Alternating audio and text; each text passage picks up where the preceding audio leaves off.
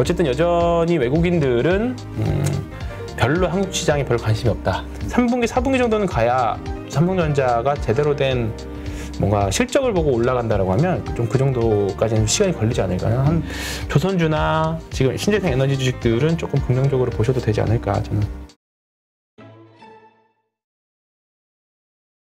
네, 오늘 모신 분은 신한금융투자 황유현 팀장님입니다. 안녕하세요. 네, 안녕하세요. 네. 자, 일단 오늘 증시 네. 이번 한 주간의 증시 안 상황을. 한번 점검해 봐야겠죠? 힘들지만. 이번 주에 아직 마무리가 되진 않았고 음, 일단 오늘 밤 9시 반인가요? CPI 지표 발표가 좀 있기는 합니다만 일정 부분 어느 정도 선반영되지 않았나라는 관점에서 시장을 보면서 좀 말씀을 좀 드리겠습니다. 일단은 어제가 말도 많고 탈도 많았었던 예, 동시 만기일이 있었죠. 예, 현물 수급 보시면 아시겠지만 어, 현물에서 이번 주에 꽤나 많은 금액들을 어, 쏟아냈고요. 음, 예. 어, 많이 팔았네, 많이 진짜. 팔았습니다. 특히 오늘은 더 뭐 사실 미국장 영향도 좀 있긴 하, 겠습니다만 어, 유독 이틀에 걸쳐서 뭐 이번 주 거의 2조 가깝게 팔았죠. 음. 2조 가깝게 팔았고요. 선물도 마찬가지입니다. 선물에서는 조금 이게 장중 변동성이 굉장히 좀 심해서 그렇기는 한데요. 일단은 이번 주도 꽤 많은 월요일 이번 주 화요일부터 월요일 날 쉬었기 때문에 화요일부터 거의 뭐 한 1조 5천원까지 팔았다 좀 줄였다가 다음날 좀 샀다가 어, 어, 만길 날은 조금 적당히 팔았다가 오늘도 한 5천 원까지 팔았다가 가깝게 팔았다가 이제 막판에 좀 줄이긴 했는데요. 어쨌든 여전히 외국인들은 음, 별로 한국 시장에 별 관심이 없다. 음. 여전히 그렇게 보시면 될 것 같고요. 사실 이 부분이 어느 정도 빨리 어, 좀 언제쯤 개선이 될까에 대한 고민들이 계속 많이 있으실 건데 당장 뭐 저희라고 해서 뭐 특별한 묘수가 있는 건 아닙니다. 지금 당장은 외국인들이 결국은 한국 시장을 사줘야 되는데 그러지 못하고 있다. 음. 그 점이 결국 결과로 나오는 게 오늘 삼성전자의 52주 신저가 가 되겠죠. 예. 참, 그러니까 우리 역대급 실적이 나와도 이렇게 어, 빠지니까. 그렇죠. 그렇습니다. 이게 삼성전자 이거 차트 이게 종목 이름 가리고 차트만 보면 회사에 무슨 문제 있는 거 아니냐. 소위 뭐 개별주들 상패 가는 차트 아니냐. 그렇게까지 좀 극단적으로 생각하실 수도 있습니다. 근데 음, 지금 거의 뭐 고점 생각하면 9만 5천 원, 9만 6천에서 생각하면 얼마나 빠졌나 봐볼까요? 야, 어쨌든 시- 저 전저점을 또 깨버려가지고. 네, 또 오늘 또 깼습니다. 이게 차트만 놓고 보면 굉장히 좀 무서울 수 있기는 한데 한 3, 고점 대비하면 한 34%, 35% 정도 하락이 나왔네요. 어, 일단은 조금 뭐 9만 원에 샀든 8만 원에 샀든 7만 원에 샀든 아마 7만 원은 지켜주지 않을까라고 생각했던 분들조차도 좀 고통스러운 구간에 이제 10% 정도 밀렸기 때문에 이제 조금 이제 힘든 구간에 들어가실 거고 저도 7만 원 이하에서는 적금 형식으로 뭐 배당주의 관점으로 사도 된다라고 생각을 했지만 음. 지극히 배당주의 관점, 적금의 관점이지 사실 지금 삼성전자를 사기에는 조금 아직은 좀 저도 계속적으로는 뭐 이르다는 생각이 좀 들어요. 설사 여기서 6만 7천 원까지 rebounding이 온다고 한들 거기서 사는 것도 사실 조금 힘들고요. 지금 구간에서는 좀 에너지 좀 하락을 좀 멈추고 추세를 전환하는 노력들이 좀 필요할 것 같습니다. 근데 오늘도 삼성전자의 개인 수급들을 보면 아니, 그 개별 수급을 보면 어떨 것 같아요? 아니 근데 지금 네. 보니까. 뉴스 나온 거 보니까 최근 한 달간 음. 개인이 1조를 샀다 삼성전자를 이렇게 나오는데 네. 그럼 외국인은 어땠을 것 같아요? 1조를 팔았다. 오늘도 보시면 꽤 많은 금액으로 놓고 보면 오늘 외국인들은 엄청나게 많은 금액을 매도를 했습니다. 예, 거의 뭐 이게 얼마인가요? 100만 원 기준이니까 100만 원, 1000만 원, 억, 이게 5천, 6천 원 가깝게 팔았네요. 예.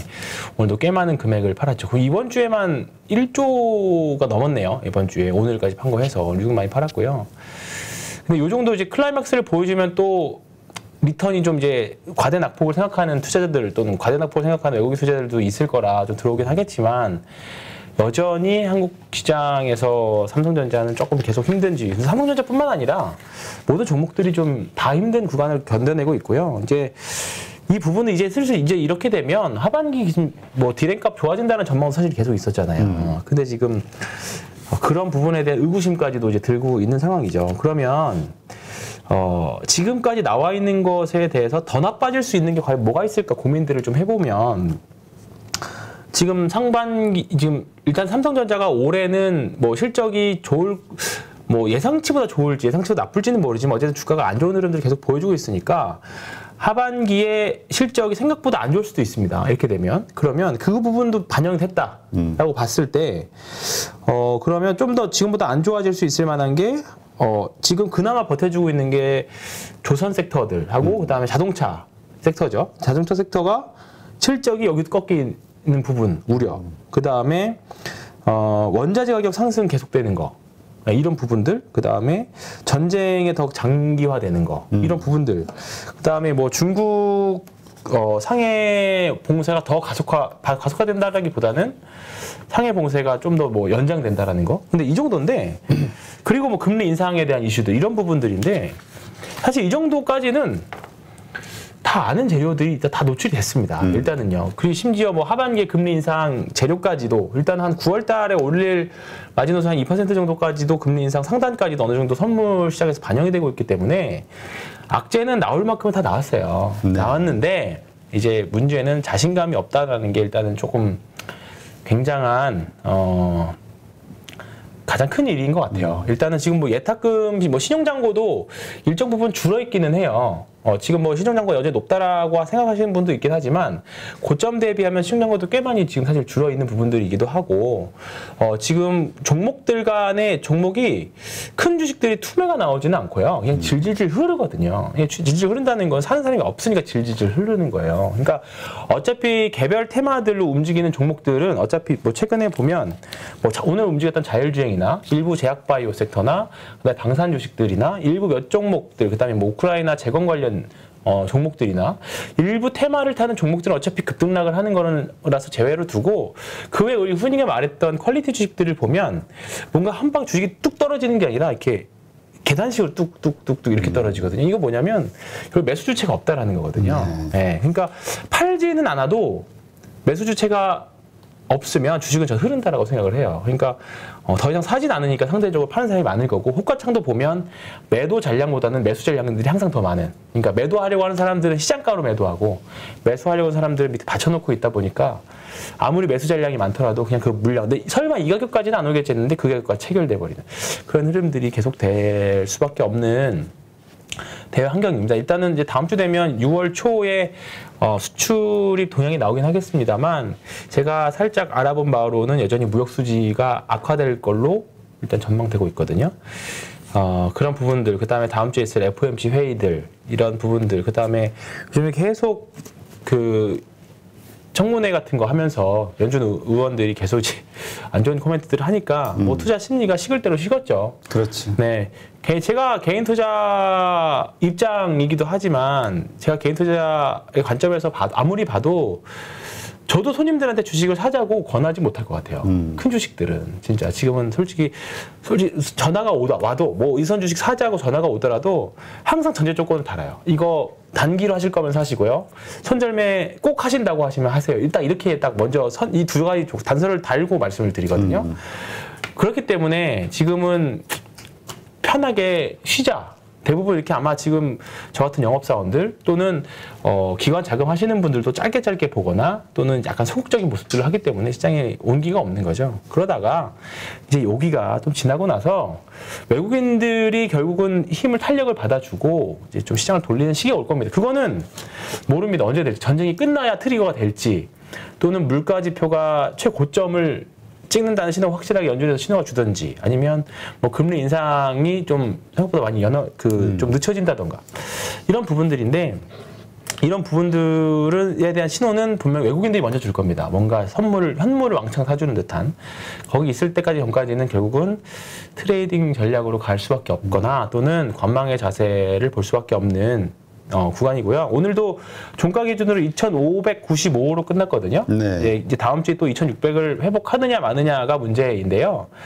어, 다행히도 선- 나스닥 그 다음에 S&P 선물은 다행히 오늘 플러스가 나고 있습니다. 오늘도 아시아 시장 중에서 중국만 홀 슬슬 이제 좀 플러스를 내고 나머지 시장들 재미가 없었는데 음, 일단은 확실히 근데 그런 부분들 보면 중국은 어쨌든 돈을 푸는 구간이잖아요. 그리고 나머지 국가들 긴축 구간이고 그러다 보니까 극명한 수익률 차이가 좀 나는 구간인데 저는 좀 중국 관련 섹터, 중국 관련 주식들이 좀 어렵기는 해도 그쪽에서 좀 기회를 찾아보시는 것도 틈새 시장을 찾아보시는 것도 좋은 방법이라고 일단 생각하고 있습니다. 네. 그래서 이번 주에 유독 좀 고변동성의 시작을 좀 줬었거든요. 근데 다음 주는 이번 주보다는 만기도 지났기 때문에 어, 조금 다 다르지 않을까.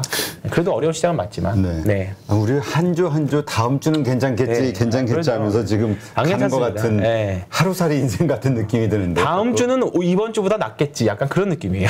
근데 어차피 이번 주는 다들 많이들 어, 조금 예상들 하셨을 거예요. 미국 시장도 그렇고 선물표 만기가 있어서. 근데, 아니, 근데 주초만 해도 아니야 주초였나 지난주 만 해도. 말까지만 해도 그렇죠. 분위기가 정말 아 이제 해볼 다시. 만한 상황이다 이렇게 생각했는데 진짜 딱 이번 주 초서부터 진짜 싹 무너진 것 같아요. 네, 이거, 심리가.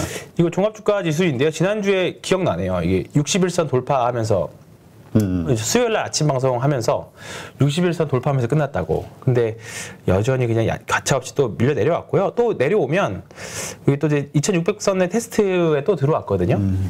그러니까 오늘도 만약 CPI 지표가 8.3이 컨센인데 뭐 크게 너무 벗어나게만 안 나오면 뭐 이제 8.5 막 9 이렇게 나올 거 걱정하는 거긴 하지만 어제 루머로는 장중에 미국 네. 시장 중에 뭐 10% 얘기가 나오고 그랬다고 네, 뭐. 예, 그런 네. 루머도 있더라고요. 네, 루머가 있었다고. 어 그렇게만 안 나오면 베타 컴플리 이제 들어보셨죠? 이제 기정사실화 현상인데 이제 악재 해소 또는 기정 이제 기존의 재료 소멸로 인해서 오히려 또 반등할 수 있는 기회도 충분히 가능성이 있는 자리라고 봅니다. 대신에 어, 구간이 되게 짧습니다. 여기 보시면 아시겠지만 2,600에서 2,600 한 60, 70 정도예요. 지수, 지수로 하면 한 2, 3% 범위 내에서니까 솔직히 좀 대형주는 더 힘들고 중소형주는 변동성은 굉장히 심하고 어, 그런 구간이죠. 아마 다음 주도 쉽지 않은 구간은 아마 이어질 건데 이번 주보다 좀 낫지 않을까 싶고요. 네. 근데 이제 지난번 5,200 얼마였죠? 그때가 그때에 비하면 이번이 아직은 지수로는 아직은 위쪽인데 음. 네. 삼성전자 주가는 그때보다 아, 그쵸, 훨씬 그쵸. 네. 내려왔어요. 다른 애들이 이제 떠받치는 섹터들이 그나마 있어서 음. 그렇기는 한데 어, 어쨌든 이게 또 뒤바뀌어져 버리면 삼성전자만 올라가고 나머지 지수는 그냥 이번 주 느꼈던 게 뭐냐면 어, 어쩔 수 없이 삼성전자를 일부러 패면서 지수를 미룬 게 아닌가 그 생각도 좀 사실 좀 들었어요. 예, 외국인들 입장에서 지수 가지고 이제 만기일 날 이렇게 하려면 다른 쪽에 군데군데 여러 군데에서 종목을 가지고 신경을 쓰는 것보다 삼성전자하고 시가총액 3위 몇 개만 가지고 밀었다가 드러났다가 하는 게 지수 컨트롤은 좀 더 쉽거든요. 예, 그런 관점에서 본다라고 하면 삼성전자는 다음 주는 예, 조금 너무 과도하게 빠진 것 같아서 다음 주는 조금 반등하지 않을까 일단 진짜 보고 있습니다. SK 하이닉스가 1.9% 빠졌는데 삼성전자가 2.15% 그죠. 빠졌다는 네, 네. 게참 이해가 안 돼. 근데 어쨌든 지금 구간 네. 신저가 계속 담아야 될까요? 아니요. 개미들이 계속 샀는데 아, 지금 계속 더 담을까? 근데 저는 아닌 것 같습니다. 아, 이제는 아닌 것 같아요? 아니요, 아니요. 저는 어차피 삼성전자는 계속 아니라고 일단 막 말씀드렸고요. 어, 그래도 있어도- 구간에서는 사볼 만하다. 네, 네, 아, 그죠. 적금 형식은 적금으로, 배당을 괜찮죠. 네, 배당주 지- 지극히 배당주 관점입니다. 지극히 배당주 관점이고요. 제가 사실 기대를 걸었던 게 요때 그, 그 이때였나요? 언제 이때였나 이때였나 그 블록딜이 한 번 있었잖아요.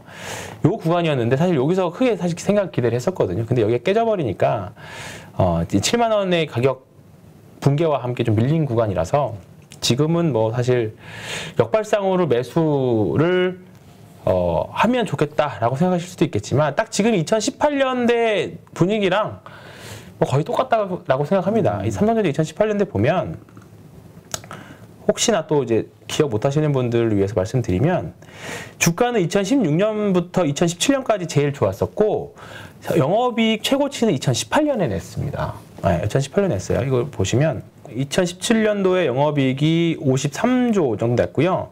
그러니까 2016년은 더 적었죠. 27조인가 그랬었던 거 기억나는데 그게 거의 한 두 배 정도 올랐죠. 2017년도에. 그래서 주가는 2017년도에 더 많이 올랐고 어, 영업이익 최고치는 59조는 2018년도에 나왔죠. 네, 50, 2018년도에 나왔는데 오히려 주가는 이때 개 계속 하락하는 모습이었죠. 그리고 나서 이게 왜 그럴까 도대체 그때 당시에도 이거 지금과 같은 의문이 계속 들었어요. 보시면 이때도 계속 52주 신저가 흐름 이렇게 계속 났잖아요. 그죠? 요 계속 이런 분위기였거든요. 그러다가 2010 2018년 어, 한 1월 정도, 2월 정도 그때 상반기에 나왔던 삼성전자 리포트에 2019년도 영업이익, 그러니까 2018년도 당시에 2019년, 그러니까 내년 영업이익 전망치들을 보면 대부분 다 60조가 넘어가 있어요. 근데 실제가 어떻게 나왔냐면 27조로 뚝 떨어졌죠. 네, 그러면서 이게 아 결국은 시장이 똑똑했구나. 결국은 앞서 반영해서 온 주가가 먼저 내려왔구나 그런 구간이라고 보고요. 삼성전자 지금도 마찬가지라고 봅니다. 그러니까 어 2022년도에 올해 63조가 요게 1분기나 2분기 실적 2분기 정도 보면 이제 이 어느 정도 찍을지가 아마 나올 건데 그러면 23년 65조 이거 믿을 수 있어. 이게 아마 그러면 이거에 대한 의문이 들, 들어야 하는 게 정상입니다. 지금은 만약에 내년 1분기에 이거만큼 안 나오면 지금의 주가가 정당화될 수 있겠죠, 당연히. 예. 근데 이제 그거는 내년 가봐야 까봐야 아는데 주가 흐름만 놓고 봐서는 어, 아니지 않을까라는 생각이 좀 드는 거죠. 근데 만약에 내년 1분기에도 요거만큼 시- 일- 올해 1분기 이상, 그러니까 올해랑 비슷하잖아요. 네. 그러면 올해 1분기 실적하고 내년 1분기 실적하고 비슷하다라고 하면 주가는 굉장히 좀 재빠르게 올라갈 수는 있을 겁니다. 그러면 그러려면 올해 한 3분기 정도 지나고 나면 어느 정도 좀 나오겠죠. 가져스가. 그러니까 3분기, 4분기 정도는 가야 조금 삼성전자가 제대로 된 뭔가 실적을 보고 올라간다라고 하면 좀 그 정도까지는 시간이 걸리지 않을까. 한, 한 3, 4개월은 더 기다리셔야 되지 않을까 싶습니다. 이런 네. 관점을 보면. 네. 이그 한 한 달 전인가 3주 4주 전쯤에 그 서준식 교수 네. 그 뭐죠? LG 저 신한 BNP 네. 파리바 아, 예 네네. 음. 거기 부사장 하셨던 네 이분하고 방송을 하는데 이분은 워낙 가치주의 네. 가치 투자잖아요 한국의 워렌 버핏으로 불리는 분이니까 근데 그런 얘기 하더라고 아 지금 그냥 배당 생각하면서 사볼 만 하다 6만 음. 그쵸. 그때 한 네. 금액이 6천 원 정도였던 네. 것 같아 전후 음. 근데 6만 원? 그러나 자기는 산다면 6만 3천 원 아래에서 사겠다 이런 얘기를 했거든 음. 네네네. 다 왔네요. 아, 근데 왔네요 네. 6만 3천 원 네. 안에서 사겠다 했는데 맞습니다. 그러니까 지금 가치 투자하시는 분들의 그 보수적인 관점으로 계산을 해봐도 이제부터는 뭔가 저가 영역인 거는 음, 맞는, 맞는 것것 같아요. 같아요. 네, 그쵸. 이 가치주. 성격으로. 그냥 뭐 실적 떠나서 그냥 PBR 기준으로 봐도 이 정도면 그냥 주워서 기다 주, 준다는 표현보다는 그냥 사서 기다리면 여기는 지키겠지. 내 더 내려가더라도 올라올 수 있는 구간은 이제 진입은 한 것 같습니다. 네. 네. 자 그렇습니다. 이번에 그 R200 네. 이제 지금 핫한 이슈인데 네. 그러다 보니까 이제 신 그렇죠? 재생 에너지들이 지금 아주 불을 뿜고 있어요. 풍력주 태양광. 음, 이 아침 방송에서 잠깐 하긴 했었는데요. 아리백이 뭐냐면 리뉴어블 에너지 100의 기업입니다. 그러니까 기업이 사용하는 전략의 100%를 재생에너지로 충당했다는 캠페인인데 이게 뭐 갑자기 튀어나온 건 아니고요. 2014년도부터 음, 미국에서 일어났던 네. 운동이죠.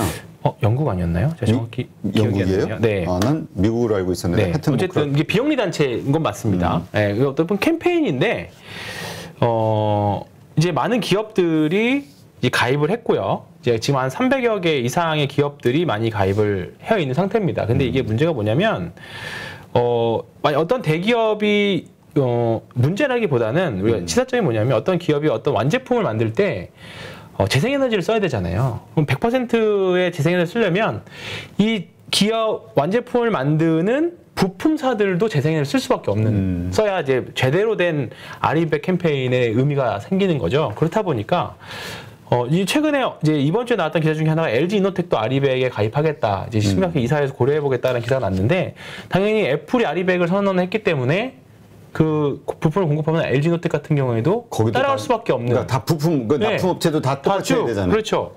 딱쭉 따라가야 된다는 거죠. 그러니까 이런 부분들이 뭐 많은 기업들이 당장 지금 화석 에너지를 쓰고 있지만 점점 이제 바꿔야 되니까 그렇게 되면 음. 기존에 있었던 재생에너지 가지고는 사실 좀 모자라는 부분들이 있겠죠. 그렇지. 그래서 최근에 보면 인도라던가 그다음에 뭐 유럽의 나라들 대부분 다 이번에 사실 전쟁이 일어나면서 약간 에너지 정책도 많이 바뀐 부분들도 있지만 이런 부분들이 어, 갑자기 좀 주목을 받아서 하나의 뭐 트리거가 된 것 같아요. 그러니까 뭐 아리백이 이번에 새로 나온 개념은 아니지만 기존에 있었던 이제 전쟁 전쟁으로 인한 에너지 정책 변화와 더불어서 다시 좀 시너지가 나고 있는 구간이 아닌가 그렇게 보고 있고요. 그래서 그런지 몰라도 최근에 보면 대표적으로 이제 하나솔루션 태양광 쪽에 네. 하나솔루션은 최근에 바닥에서 뭐 지수와 전혀 상관없는 흐름들을 좀 보여줬었고요. 아, 아주 그냥 급등을 했네. 네. 그다음에 OCI도 그렇죠. 우리가 흔히 남자 주식이라고 하는 OCI도 지금 이런 상태를 보여주고 있고, 그다음 에 현대 에너지 솔루션, 예, 다 태양광 관련 기업, 기업입니다. 예, 그렇고요. 그 다음에 어 이제 풍력 관련 기업들 중에서 CS 윈드도 그렇고, 음. 네. 1분기 실적이 생각보다 별로 잘 안 나왔음에도 불구하고 일단 바닥에서 잘 올라오고 있고요. 그다음에 CS 베어링도 최근에 좀 양호한 흐름들을 좀 보여주고 있고요. 그다음에 제가 약간 유니스른이라는 기업도 있는데요.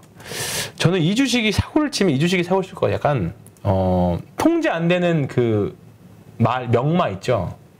약간 고삐 풀린 말. 음. 네. 무슨 얘기인지. 어, 약간 적토마가 그 관우를 만나기 전에 그 난리치던 동탁에서 떨어져 나와가지고 아 여포에서 떨어져 나와가지고 약간 헤맬 때의 그 느낌이 약간 사실 유니슨에서 듭니다. 이게 어.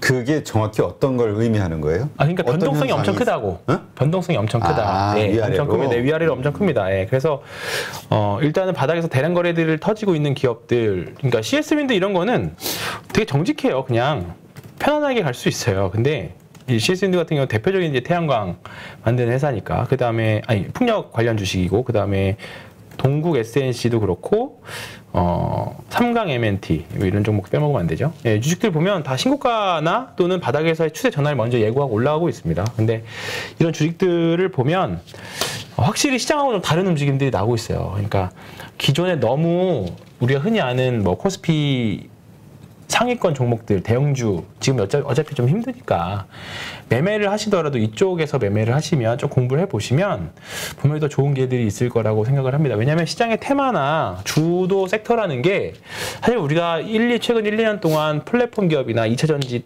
이런 쪽에 굉장히 많이 함몰돼 있어서 이쪽만 주장장 팠는데 한동안은 우리가 공부한 것처럼 이제 수익이 나왔었고 실적 성과도 좋았었죠. 근데 어느 순간부터 공부한 건데 주가가 움직이지 않고 뭐 그런 거다는 건 뭔가 자금에 뭔가 있, 이동이 있었다 있고 있, 있다는 중이거든요. 근데 그에 반해서 튀어 올라오는 주식들이 생기기 시작했죠. 최근에 조선주도 그래서 그랬고 최근에 지금 방금 말씀드렸던 풍력 태양광 관련 주식들도 그렇고 그렇기 때문에 주도주는 언제든지 변할 수 있습니다. 한국 시장은 대외 환경이라든가 이런 패러다임들의 변- 변화에 의해서 주도주는 항상 바뀌어 왔습니다. 그래서 제가 항상 주도주의 생로병사를 말씀드리는 건데 어, 장기 투자도 좋기는 한데 조금 더 그런 장기 투자하는 종목은 따로 빼놓으시고 조금 뭔가 한국 주식시장에 맞게끔 매매를 하시려면 좀 이런 종목들도 가끔은 이거 뭐 지금 말씀드렸던 종목들이 뭐 하나 솔루션 이게 뭐 이상한 실적 없이 그냥 그것만 갖고 움직이는 회사는 아니잖아요. 음, 그렇죠. 네, 실적도 동반하면서 움직이는 회사이기 때문에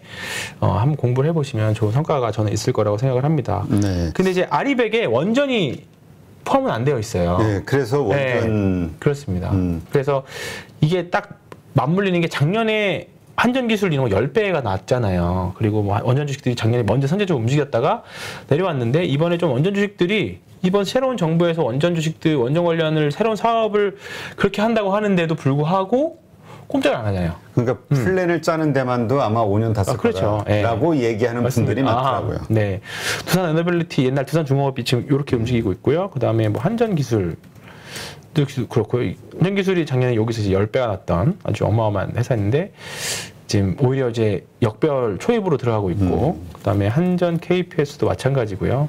별로 이제 않은 흐름들을 보여주고 있는 음, 거죠. 저 네. 때는 뭔가 정부가 바뀌면 이런 기대감이 있었는데 바뀌어도 이게 쉽지 않겠다. 네. 이제는 현실적으로 오는 네, 것 같아요. 그렇죠. 네. 그리고 뭐 이제 새롭게 추진하는 SMR 같은 경우에도 뭐 안 좋은 뉴스도 같이 섞여 있게 좀 약간 노이즈가 좀 많이 있기 때문에 음, 그런 부분에서 그러니까- 원전 주식들은 저는 개인적으로는 과거 통계적으로 봤을 때 이게 기술적 분석이라는데 야, 기술적 분석이라는 게 과거 통계거든요.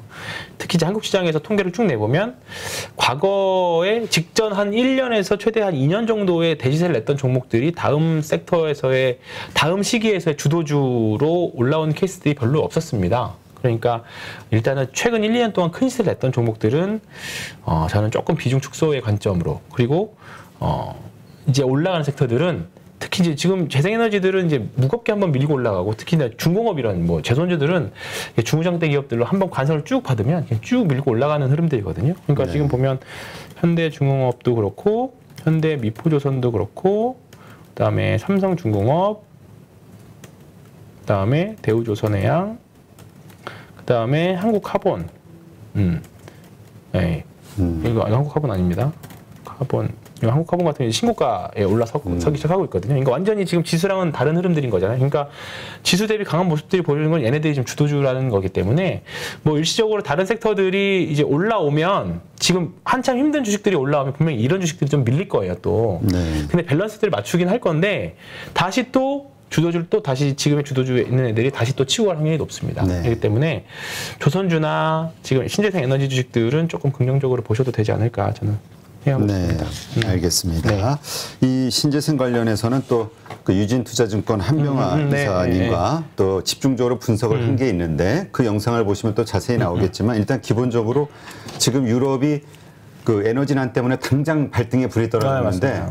원전은 뭐 15년 네. 뭐 이렇게 이상 음, 걸리니까 걸리죠. 유럽에서는 네. 이게 대안이 안 되고 네, 결국은 1년, 2년 안에 세울 수 있는 이 태양광 그죠, 풍력 그죠. 이쪽에 집중할 수밖에 없는 환경이다. 풍력이나 이런 것들이 이런 이야기를 하더군요. 작년에 풍력이 기후 이변 때문에 잘 안 됐다라고 해요. 그래서 올해도 또 그러면 이것도 사실 또 예측할 수 없는 부분이기는 작년에 해요. 영국이 그래서 엄청난 네. 고생했잖아요. 에너지난 때문에. 이게 기후 이변은 우리가 진짜 더 예측하기 어렵기 때문에 뭐 그렇기는 한데 어쨌든 주가는 일단 그걸 보고 다- 일단 설치는 엄청 많이 할 것 같습니다. 음. 네, 그렇기 때문에 주가들이 실적은 올해는 조금 재생에너지들 쪽 섹터가 좋고 아까 주도주의 생로병사 얘기를 잠깐 말씀드렸는데 풍력이 한 3년 넘게 쉬었어요.